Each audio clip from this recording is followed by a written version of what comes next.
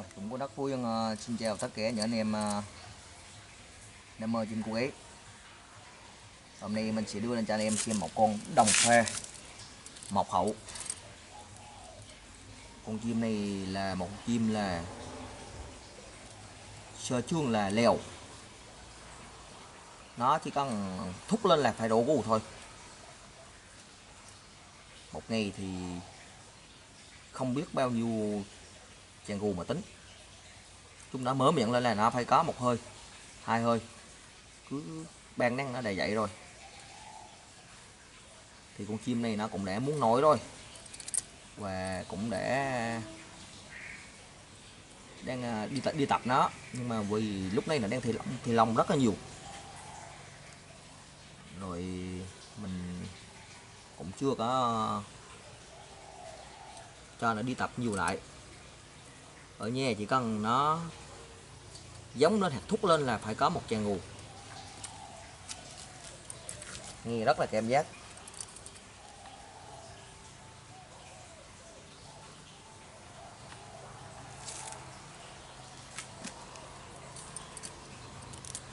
Nếu một bộ cườm là lẻ xuống dưới ngực lông đen dày, còn bộ chân con chim này thì không những nó đỏ tím nhưng mà là móc trắng luôn.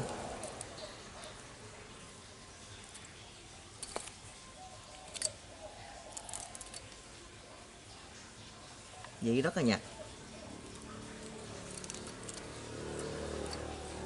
lưng là trên lưng nó là dàn lông, nó là kín và cùm vào nhau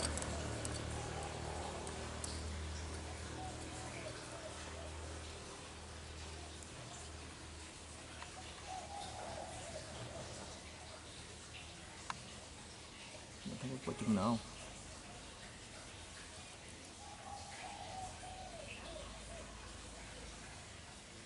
Tiếng rất là hay.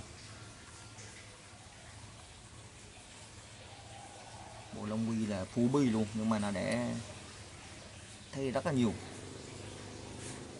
Cổ thác.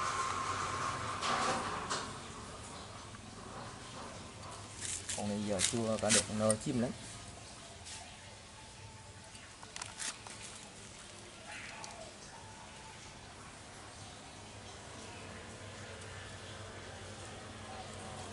Thì ở nhà thì nó có ví dụ tỷ lệ là 10 thúc lên là đổ mư nhưng mà ra rừng thì chỉ mới chơi được à, năm sáu thôi.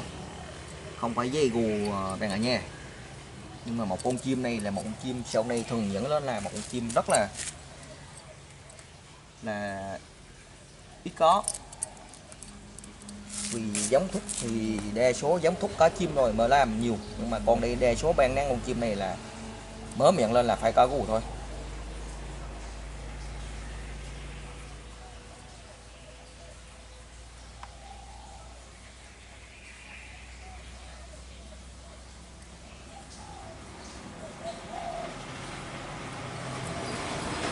Lúc con bổi à, mới bắt vừa mà chỉ là vừa chớm nổi lên thôi là nó cũng kẹ ngay.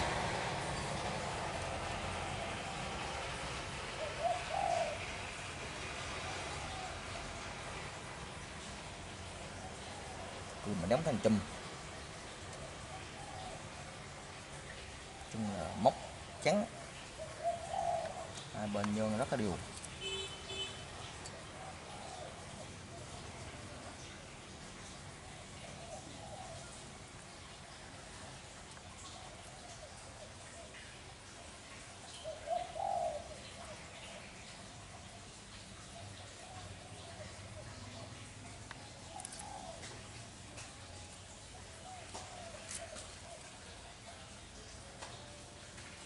bộ lông là bộ lông đen học dầu.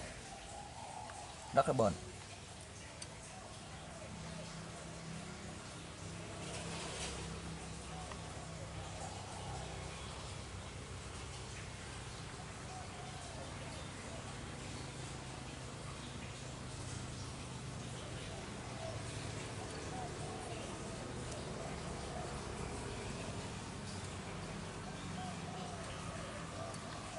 chung nó là khô từ lúc mà ngồi luôn nha anh em.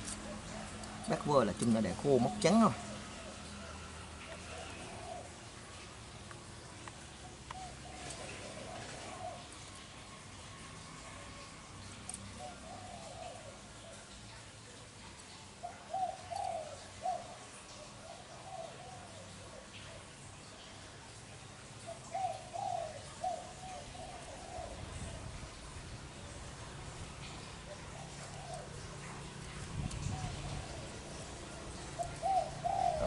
Xin chào tất cả những anh em nào đang xem video của con đồng thuốc u này của mình nha.